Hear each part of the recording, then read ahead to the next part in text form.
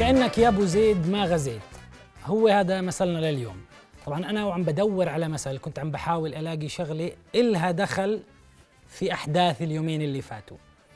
أه، بصراحة خطر ببالي أكثر من مثل لكن استقريت بالنهاية على مثل كأنك يا أبو زيد ما غزيت. بتعرفوا شو قصة المثل؟ لا أنا ما بعرف صراحة. عليا أنا بعرف إنها عن أبو زيد الهلالي بس ما بعرف تفاصيل أكثر حلو جميل. طيب بتعرفي شو اسم مرته لأبو زيد الهلالي؟ علوش. علياء. صحيح. طب إمه. ما عنديش فكرة صراحة. طب ما؟ شفتش هويته. طب أبوه؟ أب أبو زيد الهلالي؟ لا بمزح بمزح. أبوه لأبو زيد الهلالي؟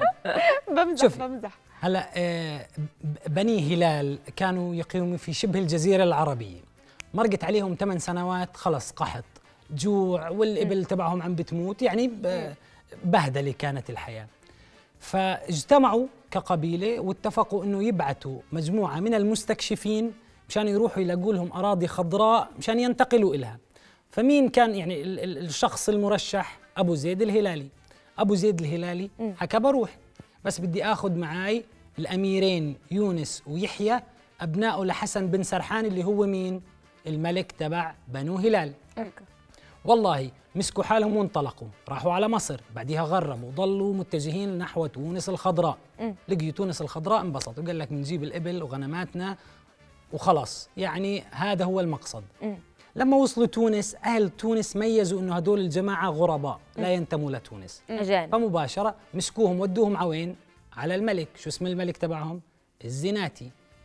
هذا الزناتي في الزمانات كاين حلمان حلم إنه هيجي مجموعة من الغرباء. بعد جية هدول المجموعة راح تلحقهم جحافل من الناس وراح يحتلوا البلد ويسقطوا حكمه. فلما ودوا سألهم أنتم مين يا جماعة الخير؟ حاولوا يدعوا إنهم حجاج وتاهوا تخيل حجاج وتاهوا تاهوا عوين؟ على تونس ما أكل الحكي عند الزناتي. قال لهم تعالوا زتهم بالسجن. مين اللي اللي ساعد أبو زيد يطلع من السجن؟ مين؟ بنت الملك الزناتي الصفيرة.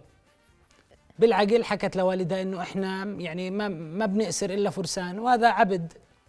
طلعوا. وعليا وين الموضوع؟ عليا است... آه عليا كانت زعلانة أصلا من أبو زيد الهلالي. آه. لما طلع عليا كانت زعلانة منه. هلأ آه. إلها ما هي هاي أصلا القصة عن عليا آه. بورجيكي قام طلع آه، أبو زيد الهلالي من السجن بمعاونة الصفيرة بنت الملك الزناتي وشغلوا الملك شو؟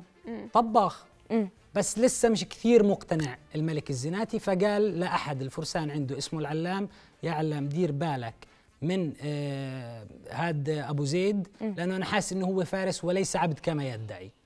قام علام قال له عندي القصة. كان في استعراضات للفرسان فروسية. أنت إذا أنت فارس فلما تشوف هاي الشغلات بتتحمس ترك شغل أبو زيد وبلش يتطلع على الاستعراضات. قام علام لمحه. قال لك هذا يا معلم له عبد ولا طباخ هذا شكله فارس. مسكه وقال له بدي أحطك بالسجن. قام أبو زيد الهلالي قال له بالله عليك بشرفك. خليك. إحنا هنيجي ونغزو عندكم. فخلينا نتعاهد إنه أنت تسيبني وأنا أسيبك ولما نيجي نغزو تونس أنا وياك ما نتقاتل ومنسيبك أكلت مع العلام. تركوا لابو زيد. أبو زيد مسك حاله وهرب ورجع وين؟ على بنو هلال على شبه الجزيرة العربية. مسكوا حالهم عملوا جيش وانطلقوا على تونس. وراحوا بعد حصار تونس ثلاث شهور سقطت في إيدين بنو هلال. هلا بعد ما استقرت الأمور وكل شيء تمام اجى أبو زيد ببعث لمين؟ لمرته. علياء اللي كانت حردانة لما طلع. يا علياء تعالي. هاي استقرينا ولا في أحلى. تونس الخضراء يا علياء. علياء قالت له الله يعطيك العافية شكرا لك بس صارت تنزل عندنا مطر في شبه الجزيرة العربية ورجعت خضرة وكل شيء تمام ومش حابين نغادر.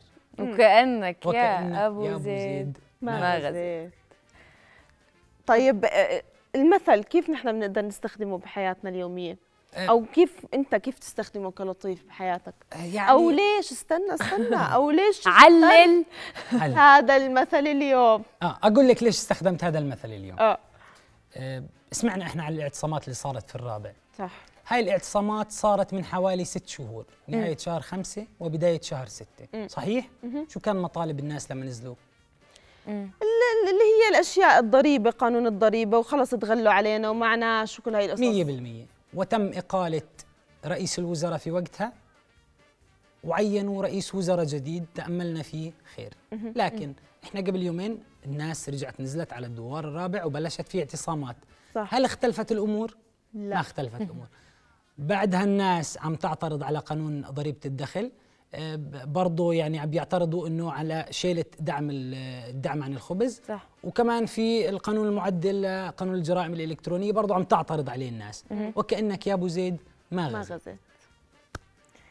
يعني يعني مش عارف شو اعلق على الموضوع الصراحة بانك دخلت من هذا المنعطف. طب علي أنت شو رأيك بالموضوع؟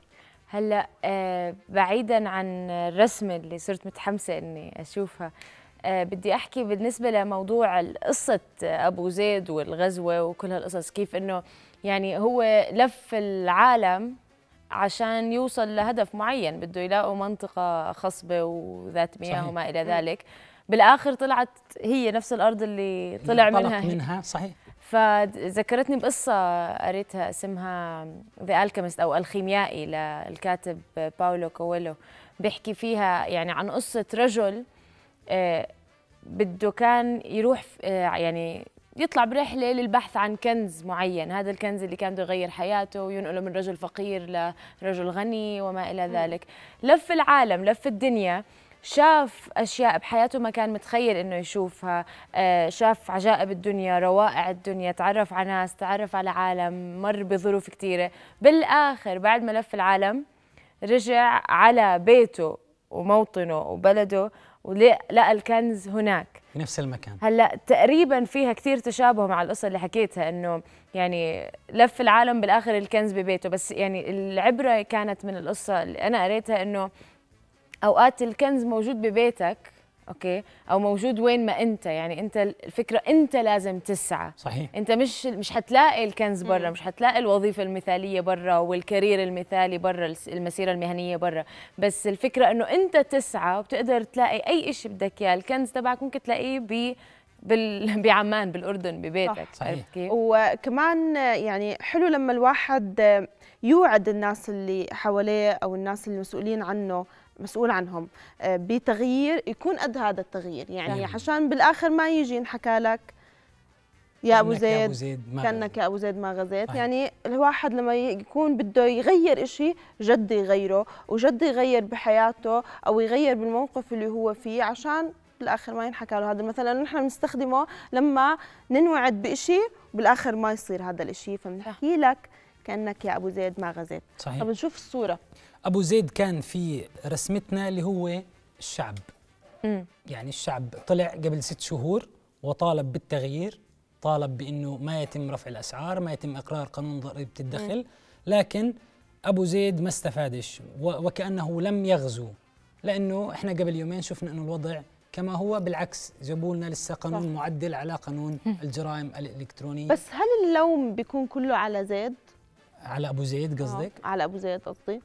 والله مش يعني شوفي هلأ إحنا ب- بطبيعتنا يعني ب ب يعني لما يتم وعدنا بنفترض حسن النية فب يعني بنصدق الوعود فيعني يعني مش الحق علينا إنه إحنا صدقنا إنه يكون في في تغيير. يعني تأملنا خير صراحة. وإن شاء الله يكون في خير. إن شاء الله يكون في نكون خير. غلطانين بموقفنا ويجينا خير إن شاء الله. تعرف من وحي القصص اللي حكيناها يعني في هيك نقطة شوي بتحزن لو لو شو اسمه لو صبر الرجل بقصة. الخيميائي على آه لا. على ال- على بلده وحاول إنه يلاقي الكنز ببلده.